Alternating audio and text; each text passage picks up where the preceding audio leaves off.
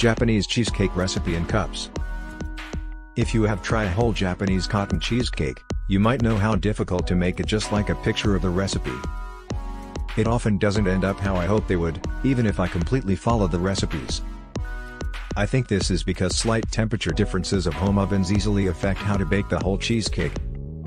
So you may need to adjust your oven temperature to strive for the beautiful look of the whole cotton cheesecake.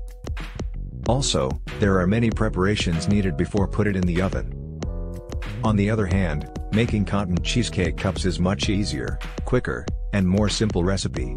But it's the same taste and texture. They are just smaller in size. A whole Japanese cotton cheesecake can be a good choice for special occasions.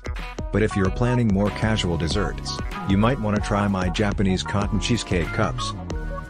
This recipe makes 12 mini cotton cheesecake with a normal sized muffin pan. How to make Japanese cotton cheesecake cups. Firstly, I will specify why cotton cheesecake cups are quicker to make than a whole cotton cheesecake.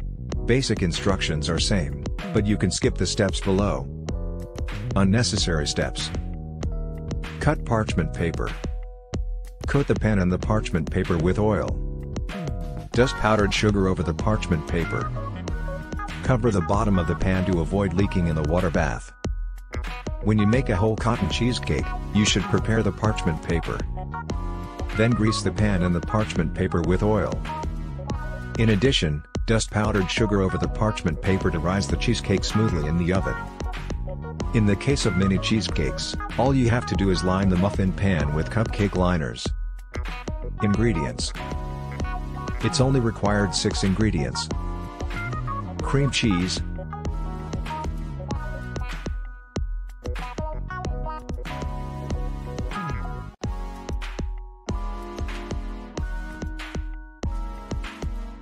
cream, around 30% fat, flour, gluten-free or other white flour.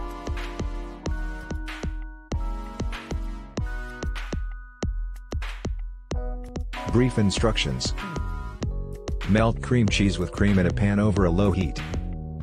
Once the cream cheese melted, transfer to a bowl and add sugar. Set aside to cool down. Beat egg whites until soft peaks. Set aside. Add egg yolks, lemon juice and flour to the cream cheese mixture and blend. Mix egg yolk mixture and egg white together. Pour the mixture into the liners and bake for 20 minutes in hot water bath. I love to eat both when it's warm and cold. When you eat them still warm, you can enjoy the super fluffy texture along with the fizzy and bubbly sounds in your mouth. I brushed an apricot preserve on top. But also whipped cream and blueberry sauce would be nice to serve with the cheesecake.